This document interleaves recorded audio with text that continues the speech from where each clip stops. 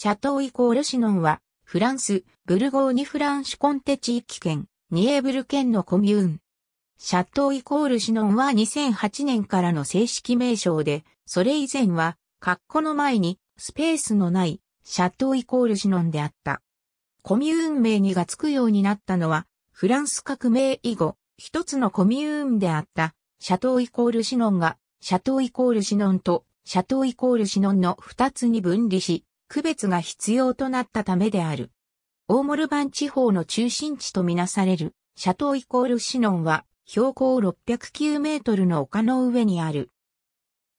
戦略上の立地条件から考えると、アイドゥイ族のいたガリア時代、ガロローマ時代からの歴史を持つ。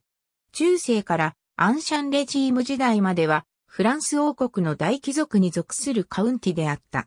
現代に入ると、シャトーイコールシノンの首長を務めたフランソワ・ミッテランが、フランス大統領に選出されている。町は、シャトーイコールシノンに四方を囲まれている町は、アンフィテアトルムのような形をしている。南と西の丘は、標高609メートルになる。カルベール地区は、ヨンヌ川とサガンとバゾワ平野を見下ろす。この町は、オーモルバン地方の中心とみなされている。町は、県東部にあり、ソーヌイコールエイコールロワール県との県境から 13km ほどしか離れていない。面積428ヘクタールしかない、シャトーイコールシノンは、県有数の小さな自治体である。シャトーイコールシノンの名はかつてこの地にあったオッピトムのラテン語名、カストルムカニヌムに由来する。アンシャンレジーム時代の名は、シャステルシノン、そして、シャトーシノンであった。フランス革命時代、革命的な名称が好まれたためシノンダ・モンターニュと改名させられた。革命後は、シャトーイコールシノンとなった。シャトーイコールシノンの城の遺構を18世紀に描かれたシャトーイコールシノン町の中に残る塔は、かつて町を取り巻いていた壁の跡である、カルベールの丘の頂上から発掘品が出土し、戦死時代の岬上の砦や過去市があった。19世紀から20世紀の発掘においては中世、ガロローマ、ガリア時代からさらに遡る同性の王の青銅製ブレスレットといった出土品があった。カルベールの丘の頂上では、ガリア系のアエドイ族が総面積3.5ヘクタールの楕円状のオッピトムを確立していた。オッピドムには2カ所の水門があった。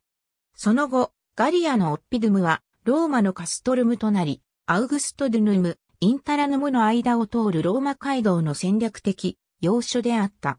19世紀に行われたエドモン・ボグロ博士の発掘では、宝飾品、彫像、陶器、青銅器でできたオブジェが出土した。ガリア時代とローマ時代の効果も発見された。シャトーイコールシノンは最初領主の領地であり、その後シャトレーニーとなり、最終的には255以上の荘園と領地を備えたカウンティとなった。カウンティ内でのシャトレニーの起源は不明である。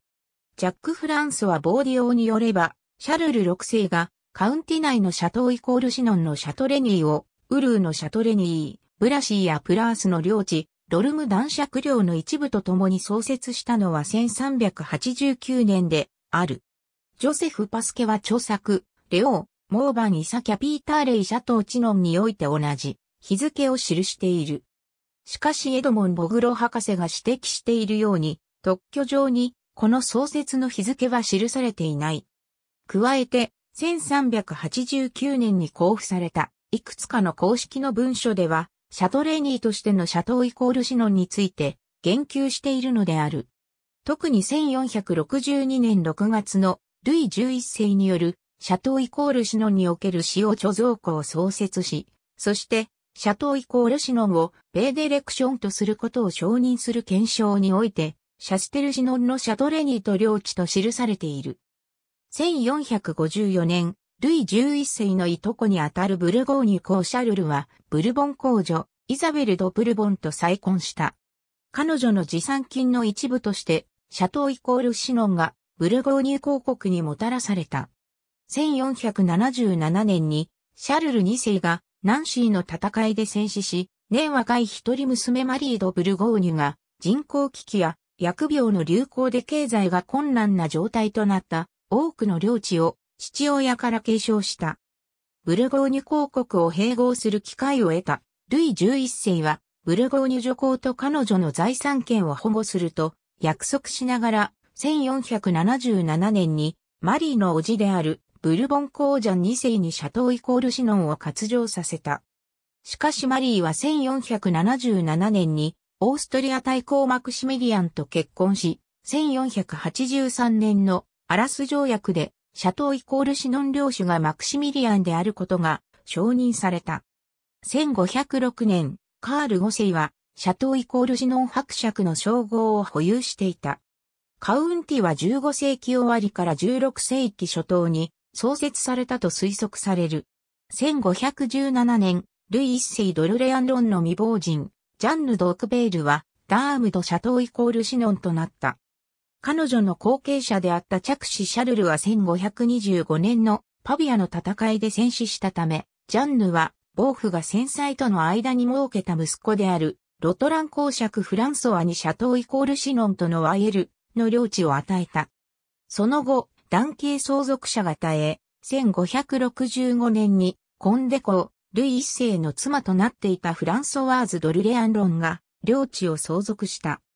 シャトーイコールシノンはフランソワーズの子孫が相続し、トンマーゾ・フランチェスコ・ディ・サボイアの妻となっていたマリード、ブルボン・コンデが1644年に相続し、町は部分的にサボイアイコールカリニャン家が所有することとなった。しかしビットーリオ・アメデオ一世で、サボイアカリニャーノの代になって、彼の浪費による借財の返済のため、1719年にシャトーイコールシノンを売却を余儀なくされた。32万5千リーブルでシャトーイコールシノンを購入したのはマクラニー公爵であった。革命後、コミューンはシャトーイコールシノンイントライコールミューロとシャトーイコールシノンエクストライコールミューロの異なるコミューンに分かれた。これがそれぞれシャトーイコールシノンとシャトーイコールシノンとなっている。1950年代、シャラント生まれの政治家が、シャトーイコールシノンにやってきた。1959年から1981年まで、市長であったフランソワ・ミッテランである。